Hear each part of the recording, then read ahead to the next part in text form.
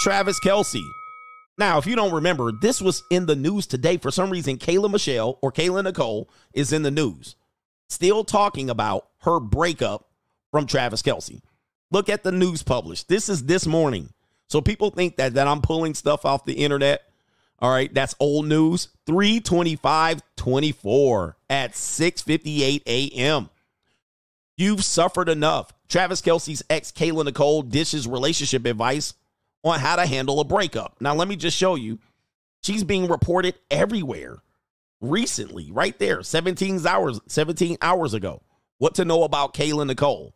So it says right here, you can see that for some reason she's trending. Maybe her publicist or something like that is going nuts. So why is she trending? Well, this is why. Travis Kelce, It is no, hold on for a second. I got adverts that won't close. What's going on with these? Okay, I have to come back. You should see this mess that I'm in right now. All right, there it is right there. You can't see it on the screen. Travis Kelce allegedly spent more than half of his yearly salary on wooing Taylor Swift. Oh my goodness. Can you woo, woo, woo? Can you woo, woo, woo? Yeah, can you woo, woo, woo? You should be mine, all mine. Now, there's several angles that I want to hit this from. And I know a lot of people are going to jump to conclusions, but you see the poll on your screen. Go ahead and enter your vote on what do you think of this move by Travis Kelce, considering the fact that half of his salary, just his playing salary, has been spent on wooing Taylor Swift. Now, he was the one that initiated this relationship, right? But it looks like we always say all men pay. He's getting it for free. The Chads get it for free. Those days are over. I've been telling you that these days are over. The dating marketplace is monetized. He saw her out. She took the bait. And the nanny goat's happy. New, new, new, new, new world order. Which is the last one right here. The nanny goat is happy. This is, to me, an arranged relationship, but not arranged in a negative way. This is an arranged relationship that could benefit him long term. But nothing's for free even a woman that is as old as Taylor Swift, she's 34 years old.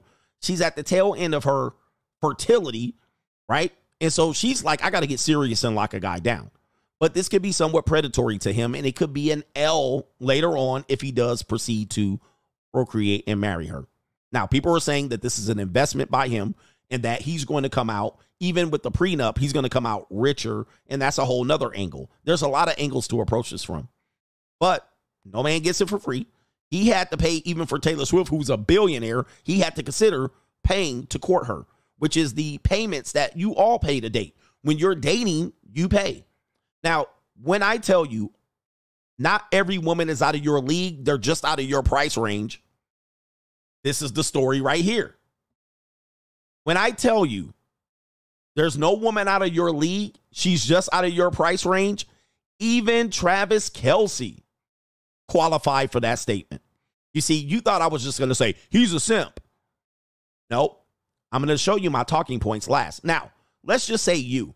Obviously, obviously, I wouldn't get a chance at this, but if I if I was the right dude, yes, I would have got a chance at it. Now, the right dude was all in the NFL. She could have chose another one of these guys to do this for.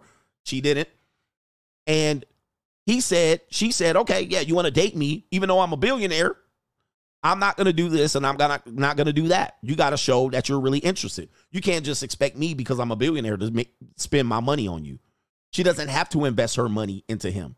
This is what a modern American woman are saying. I make $80,000 a year, but I'm not going to invest my money into you. So he still had to come to the table. He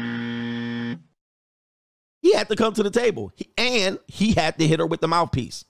He had to hit her with the mouthpiece. Now, let's talk about this. You see the poll. It says they're going to create a super athlete Obviously, you have two tall women, uh, two tall human beings.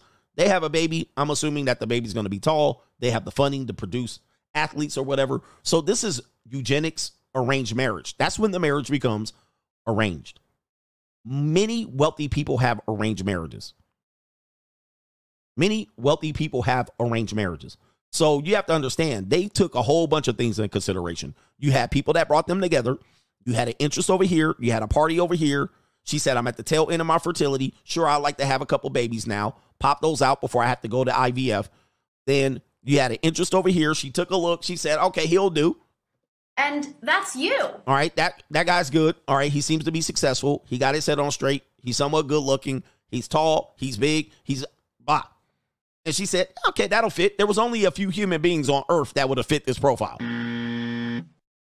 So they brought them together. This is kind of how it works. Now, for the people who want love, you have to understand that the higher upper echelon people, they're brought together like this social circle, status, and they have it measured. They do the background check. They do a blood test if they have, well, I can't say it. I'm not going to say what race, what people. We know I can't say right? that. So they do all of these things before they get together, but y'all trying to have a random chance at love. I broke this down last week. There's no random chance at love. People are dating wrong. You're trying to bring a stranger in here and hope, oh, maybe we'll have chemistry. This is a waste of your time. This is a waste of your time, especially if you're poor, broke, dusty, dirty, and lonely. Y'all can do whatever the hell y'all want. But the upper echelons, they bring themselves together through their social circle. They investigate each other. They court each other. They had a courting period and all of that stuff. And they come together and they plan their families. They plan their families. They're like, okay, yeah, we'll put your genes together. We'll do your blood type. We'll, okay, yep. And it'll be good. They plan it. And they get all the paperwork and uh, they do all this shit. All right, did you get the jab? Yep. Are you voting for Biden? Yep.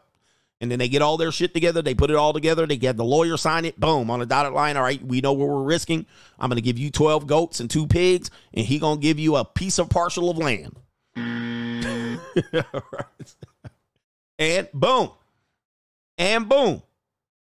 Kaboom. Then they have their relationship. So people are playing it's a psyops. Dude, they're gonna have their babies. They're gonna do all of that shit. They're gonna have the wedding. It's gonna be on live television and all of that shit. They're gonna sell photos. That's how it works. That's how the um that's how the queen, that's how the queen and king of England got married. They're gonna be America's couple. So whether it's a psyops or not is irrelevant. That shit going down. It's going down. And that's why they got Kayla Nicole, Nicole's ass out here. Now let's attack it from this end. Let's attack it from the Kayla Nicole uh, side. Okay. Kayla Nicole found out that bitch, a big booty and a smile ain't gonna cut it. And Travis Kelce said, nah, that ain't gonna be enough for me. Yeah, you cute, but don't let that shit go to your head because what this won't girl won't do, another one will. He was like, you know what? All these asses and booties are taking me nowhere. Sadly enough, this ninja would have been uh, muddled in mediocrity his entire life had he stayed with Kayla Nicole. Now, some of you guys have to make this decision. I know we want to be against Travis Kelce on this one. I know we want to say the nanny goat, but I want you to think about this. Travis Kelce said, I need to up my standards, not in looks, but in quality of life. Let's take it from this angle. I want to up my standards. Okay, she cute, but what else does she add? Does she add value? He said, Nope. Bitch can't cook clean. She a loudmouth. She out of line. She don't know her place. Yeah, she cute. Yeah, her thighs banging, but she gonna limit me. And once I get her in here, she gonna act like she own me. And guess what?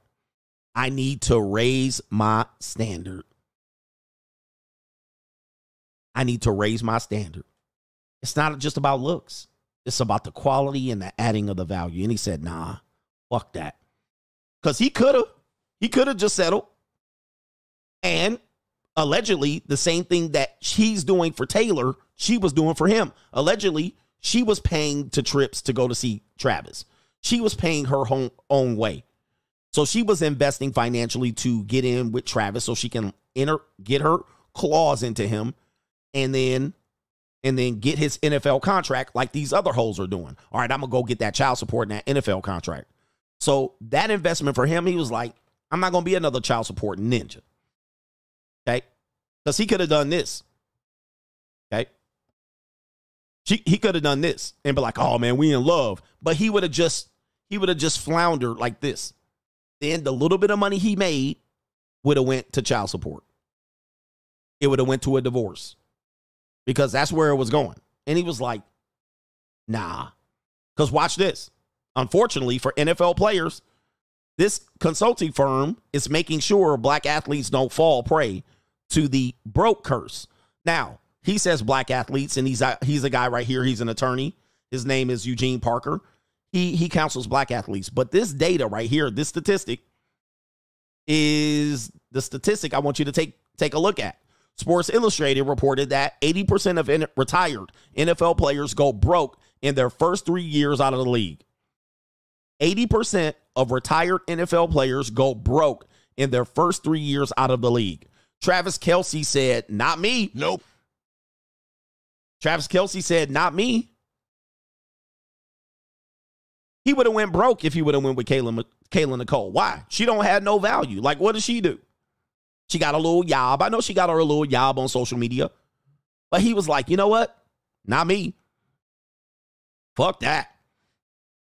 At the end of the day, I'll go ahead and invest year of my salary that would have went down the drain in child support to Kayla Nicole.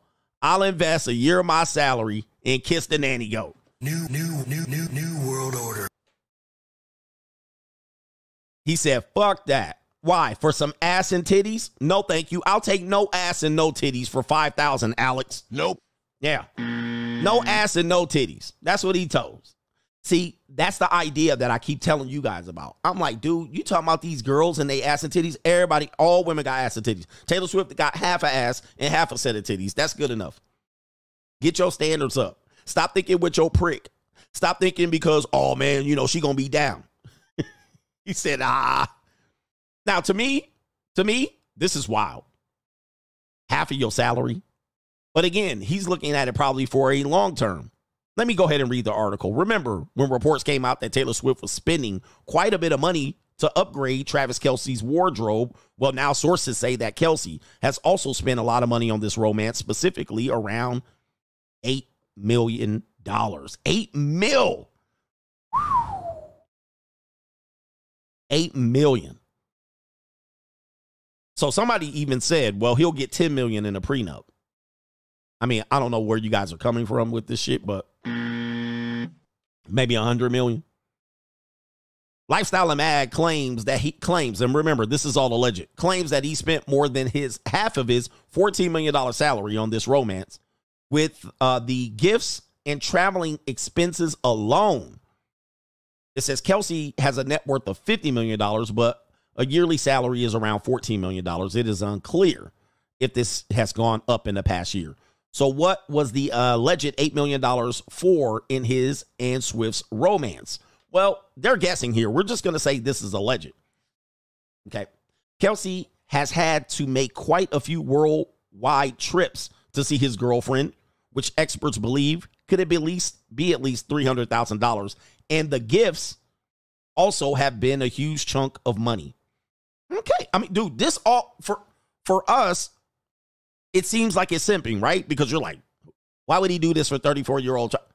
But think think back. If he doesn't do this, and he doesn't kiss the nanny goat, and he doesn't take the Pfizer check, which is I think uh his endorsements amounted to four million dollars. And of course, look, they got a two dudes right here. Four million dollars. I tell you, man, the boy, I tell you, the propaganda is crazy. Uh, Travis's endorsements land $4 million after the Super Bowl. All right, there you go. $4 million. So $4 million, it's not 40. It's not $40 million. That's 4 million. Seems like a lot. Now, does he have to do this? No, but I'm just letting you know. I'm just I'm just taking it from angles. We're just chopping it up, chopping it up in pieces. It says while it is unclear what he got for her on her birthday, many believe he snagged her a custom-made opal ring, which definite uh, which definitely couldn't have been cheap. But for Valentine's Day, he allegedly spent thousands on an Hermes scarf, custom gold matching TNT bracelets, a what is this bag? Bottega? Bodega? What is a bodega bag? Bottega. A Bottega bag, a 24 karat gold rose sculpture, and more per uh, the uh, magazine. Along with that, he allegedly spent even more on gifts for Swift.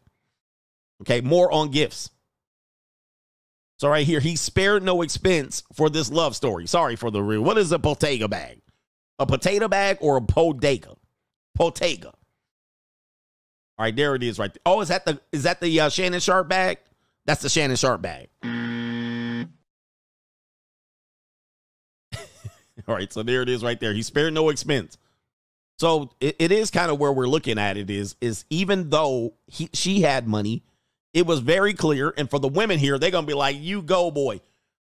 He still had to woo her traditionally. And to be fair, to be fair, what what did you think was to happen? She liked him and she was going to give it to him for free. She liked him and she was going to spend her money. What did you think?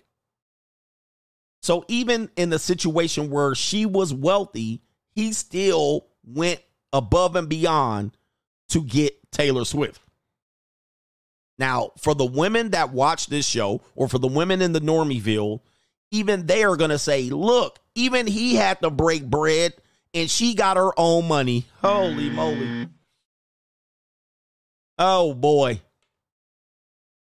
And the fact that she's old and and uh well, I was going to be mean. The fact that she's old doesn't help the situation. This only helps the women believe that even with their own money, you still got to be out here spending on them lavishly. But that's what courting it. Well, I don't think what he's doing is courting, to be honest with you. But I think what he's doing is separating himself from the pack. Now we have to understand if he wants to marry her and he wants to marry a billionaire woman, he's got to separate himself from the pack. How does he do that? He has to say, I'll spare no expense. Something about what he's doing tells me he might be the one being predatory. He might be the one being predatory, or he's looking out for his best interest because he does have options. That's the sad part of the conversation. People are going to say he's simping, but does he have options? Yes. Kayla Nicole will take him right now. And all these other black women will take him right now. So something something is up in this situation here for men to understand. I think there's a combination of things. It ain't just simping. Number one, I think he's protecting his ability to uh, support himself into the future. All right, because most of these NFL players go broke. I don't care how long they play, they go broke. Number two, he is also um he's also possibly looking at maybe having kids with her. He might be more in love with her than she is with him. Number three, Taylor Swift is at the tail end of her fertility. She's looking to get some sperm. Straight jacket. So she can create another narrative for her princess story for her Taylor Swift fans. Her fans are worldwide. They comparing this woman to Michael Jackson for all uh, for goodness sake. So who better than ta- Travis Kelce? Who better? She's like, mm, this is a good deal for me. Now she wouldn't have done this at 26. She wouldn't have done this at 30. But at 34, she doing it. And that's you. And somebody said election year, a feel good story. So this is going to be the story. They're going to be together, all huddled up. We start our family. We're getting engaged. Vote for Joe Biden. All right. Yep. Vote for Joe Biden. I've done some dumb things. And I'll do dumb things again. All right. And so that's the situation here. Now, we know, last part of this, we know that anybody that marries Taylor Swift is likely going to have to sign a mortgage package of prenuptial agreements and non disclosure agreements. Anybody thinking Taylor Swift is going to waltz into this and be dumb like men are who are billionaires. Well, she loves me. Taylor Swift and her people ain't going for it. She already got robbed once and robbed blind uh, by the record company, and then she tried to get out of that. So she already got robbed blind once. Don't think that she gonna be stupid enough to make sure this ninja is gonna get in and get out with a bag. It ain't gonna happen. It ain't gonna happen. You think you think this woman's stupid? you got to understand her people and her lawyers. They ain't gonna let that happen. Ninja's talking about 10% prenup. Nope, nope, nope. It ain't gonna be none of that. He's still gonna pay child support if they do break up. Yeah, they gonna find a way to make that ninja pay child support. He gonna have to pay to go see his kids. All right, so um, that's the only part of it is a lot of guys think that yeah he's gonna get in get out with a good prenuptial package. It'll be much better than he would have got going with Kayla Nicole for sure. Kayla Nicole package would have been whack. All right, there would have been no prenup package. But let's just say he's angling it for that and he's getting over on her. And then just be like, he pimping her. That's not what pimping is. Pimping would be putting her on the blade. All right, pimping would be putting Taylor Swift on the blade. He's not doing that. But he's securing his future by investing into her. I will agree with that. I will agree with that. Is it simping? Yeah, it's unnecessary, but listen, I ain't Travis Kelce. All right, so listen, it would be a little unnecessary, and it doesn't make for a good quality here. Like, it doesn't make for a good story for the rest of American men. Think about this Taylor Swift audience is the majority of American women under the age of 30. Her impact is so big that they believe she can uh, convince a fifth of the voting populace to vote for whoever she endorses, which we know to be Joe Biden. But the rest of the American women are going to see themselves as Taylor Swift. Taylor Swift is getting married to the man she wants at age 34 or 35, 36, and going to produce a child somewhere around 36, 37, 38, 39. And that's you. No bueno. She's going to influence the behavior of the majority of American women who believe that late 30s going into your 40s is the best time to select your partner. That's where you can put it in the simping category because now you've just, instead of having someone where you would think, oh, he could have some leverage, he took the not leverage route. In every way, this is no leverage. He came in and he had the money, but this is anti leverage. But now the majority of Taylor Swift fans are going to probably say, hey, Taylor Swift got married at 35, had kids at 36, 39, and 40. And that's you. Now I believe they all can do that. Yep. Especially young white women. But I don't know, young white women, are y'all listening? They don't have the fertility like that. Let me just show you real quick here. Um, as I was going to share this later on. Let me see. They don't have the fertility like that. So that's where they got to be careful. They're actually um they're actually might prevent themselves from actually having children. Where's the story about Where's the story about in vitro for let me see here. Was it Erin Andrews? It was Erin Andrews. Erin Andrews IVF. Erin Andrews actually says she can't wait for Taylor Swift to get married. I don't know why they're interviewing these people here. All right, she just had she just Erin Andrews apparently just had a baby. But uh here it is right here, just so you can see it. She just had a baby. But it says right here, Erin Andrews, after 10 years of hell, I became a mom. Now I'm trying to make up for lost time. 10 years of hell. What was the 10 years of hell? Oh, she had a baby by surrogate. So she didn't even deliver the baby. All right, this is what's happening. This was happening. So she went through 10 years of IVF and it was a L. It was a L. And they had to get a surrogate. Same thing as um what's that dude's name? Dwyane Wade. I think Dwyane Wade and Gabrielle Union, same, same. And she was older than him by 10 years, I believe. Let me see here.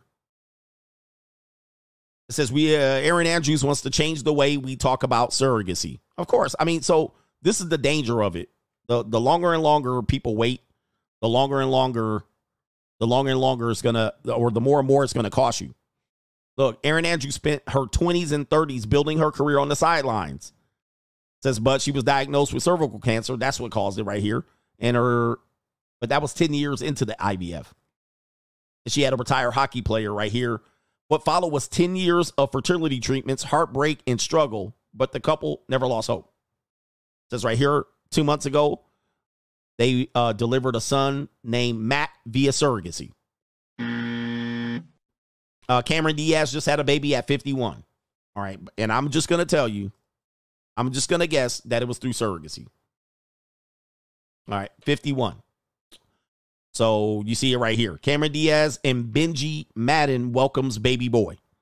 51. Let me see if it let me see if it was surrogate. I'm just going to assume it was surrogacy. Let's see here. Uh let's see here. Pull it up. They announced the birth. Was she pregnant? They announced the birth. Did they announce the pregnancy though? Yeah, 51. Mother at 51. This is where we're going, guys. I showed you the video earlier about the American family. You're just having, and she ain't gonna have any more. I'm just gonna let you know. So you only got your one baby. And at 51, let me see here. It was a surrogate. I can't find it. But I cannot find a picture of her pregnant. Oh, yeah, it was a surrogate. Yep, right there. This is their second child, though. Nope, first child. Yep, okay. Let me read it. I'm going to read it. Cameron Diaz and Benji Madden are parents again. So this is the second baby right here. All right, welcome their second boy. We're blessed. He's awesome. Congratulations to them. Okay, right there. Uh, the first child was born in 2019 by surrogate. By surrogate. Reportedly after years of fertility treatment. I keep saying these things, man. I keep saying these things. Now, what does this mean to you? What does this mean to you? Wait a minute. Who are you? What that mean? What does that mean to you guys? She also talked about having a child in uh, later in life in her career. This is the thing. We're letting people go with this narrative. Hey, you can have babies at 51 and 40 and 45 and 30, 39. But now you're seeing that they're going through all of this long term medical treatment, uh, in vitro fertilization. I gave you the calculation. You're talking about 60,000 to 100,000. And if you got 10 years, you're talking about you're talking about almost a million dollars. Talk about a million dollars. Both of the between both of these women, they probably spend a million dollars. Erin Andrews and um Cameron Diaz. We're talking about probably a million dollars in IVF. Then, then, then, then there was no IVF, IVF and then surrogate. All right, now another woman's having the baby. like just and then Cameron Diaz is 51. Come on, man. We talking about she's gonna be in her 70s by the time the kids cross graduation. 70. Okay, and this is the danger of this. Okay, wait till late. So they always say wait till late. But I'm saying to you men, not let's take the women out of it because they're gonna they're gonna be pissy about it. Let them be pissy. I'm asking you men, do you want a surrogate? I would take a surrogate absent the mother. Okay, I would just pay for my own baby and leave the mother out of it because the mother is going to steal the baby at some particular point. That's just what they do. They're going to kidnap the baby and make you go through the courts. That's what they do. Okay. That's the majority of mothers like this in America. That's what they train to do. It's in their DNA. Let's talk about the men. Do you want to spend thousands on IVF? Do you want to spend thousands on surrogacy? Like, what are we doing? But this is what the promotion of this lifestyle happens. Let me do this. I'm going to play this right here. Okay, just so you see. This is why we need the immigrants because the immigrants are having babies in the fertility window. Are they babies they can afford? No. But they're doing it the nature's way, not through all of these playing God. They're using the hand of God for themselves. They're using their own hand as the hand of God. God didn't intend this, but now you're just going to force it to happen. And for what reasons? Selfish reasons, although most people have babies for selfish reasons anyway. But as you can see, the nuclear family, two men, I mean, a man and a woman, four children, nuclear family. By the 1960s, you lost a child. Now the nuclear family is three. By the 70s, nuclear family is three. Then by the mid 80s, into the 80s, the nuclear family is two. And then now you're down to one. And then today, you got dinks. Dinks. You got people that are getting married for and no children and maybe a couple of dogs. Like this is where we're going. This is why you need the immigrants in America. This is why they opening up the walls and letting everybody flood the gates. All right. And they're they're, they're not going to do it with you Americans. They're going to do it with their own kind. All right? And of course people will say, "But the economy." Ninja, the middle was four children in the Great Depression living in one bedroom apartment. Right there. Four people in two beds. All right. Yes, indeed. All right. Um, that's the main event. I do have some overtime for you. If you enjoyed this clip, check me out on the Free Agent Lifestyle channel for the best morning live stream every weekday. And of course, we're back for the evening live streams as well. Check out the times in the featured channels on this channel right here. And also, the links are in the description box. I will see you there. New, new, new, new, new world order.